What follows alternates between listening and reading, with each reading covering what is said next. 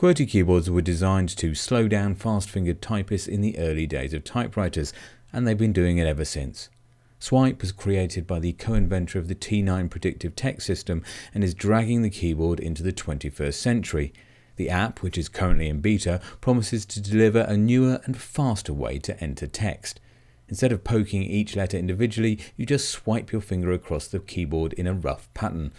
A blue line follows your fingertip from letter to letter in a kind of join the dots style. And when you lift your digit, a word instantly appears. Swype figures out what you're trying to spell, and in the case of multiple possibilities, you tap to choose between them. You don't have to be spot on with your finger work, and Swype even adds a space after each word.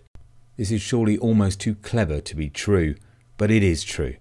Within minutes, you'll be gliding through texts, skating through emails, and tracing through websites. There are some tricks to master, including an awkward pause for double letters and the annoyance of reverting to tapping out names and places, but it only serves to remind you how much you've come to rely on this app. It's free and it's not available for the iPhone. What more could you possibly want? 9.4 out of 10.